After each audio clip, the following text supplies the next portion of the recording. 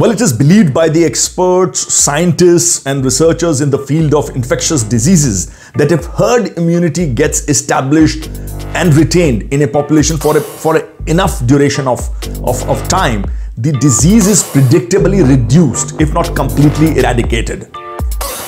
In other words, herd immunity puts brakes on the community transmissions.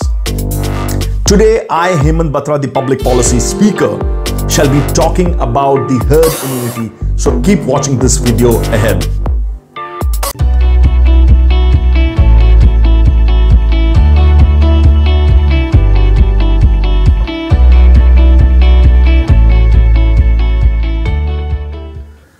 We have been hearing a lot about herd immunity as the, the lockdown is loosening up in India and elsewhere in the world and you know literally coming to an end. What is herd immunity? You must be pondering. Let me take you through this concept which is also known as community immunity, uh, you know, population immunity or social immunity. It is a kind of you know incidental shield or protection from, uh, from infectious diseases, including epidemics uh, or pandemics, which happen, uh, which happen uh, you know, when a huge proportion of a population becomes immune you know, to, to an infection, that is resistant and protected to an infection. Uh, this immunity happens not by some miracle or intervention of uh, you know some supernatural uh, forces. Uh, it, it, happens naturally, you know, biologically, either through immunization, that is vaccination, or earlier infections, which build a kind of shield around you, around those people who, who, are, who, are, who are not immune. In a population in which a substantial, sizable percentage of people acquire immunity, those people obviously are no more the cause of disease transmission. That's, that's what herd immunity is all about. This leads to the breaking of chains of infection, leading to the you know, slowing down of the spread of disease. The greater the number of immune persons in a population, the lesser the likelihood that non-immune or vulnerable individuals will come into contact with an infectious individual. This helps in you know protecting non-immune individuals from disease and infections. Herd immunity was documented as a biologically happening phenomenon in the 1930s when it was noticed that after a substantial number of children had become immune to measles. The number of new infec uh, infections provisionally declined, including among susceptible children.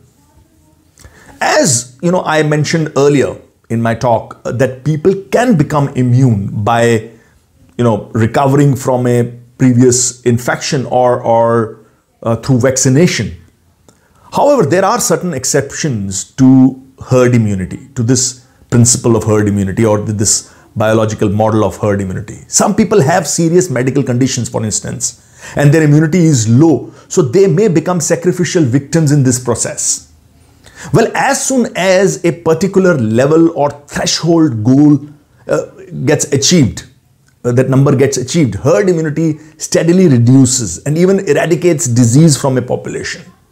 As stated in the Oxford textbook of infectious disease control, this, this elimination, beg your pardon, if achieved worldwide, may result in the permanent reduction in the number of infections to zero called eradication.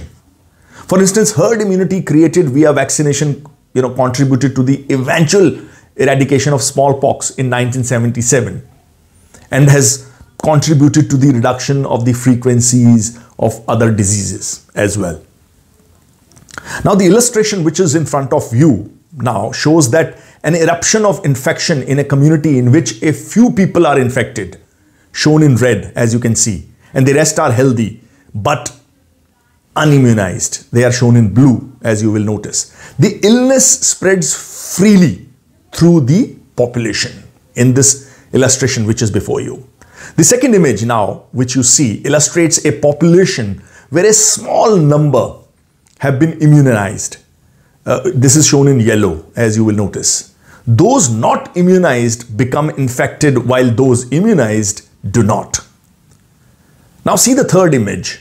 A large proportion of the population has been immunized, as you will see. This prevents the, the illness from spreading significantly, including to, uh, you know, unimmunized people. Now, you will notice that in the first two examples or, or, illustrations or images or graphics, most healthy unimmunized people become infected. Whereas in the bottom example, which is the third example, only one fourth of the healthy unimmunized people become infected.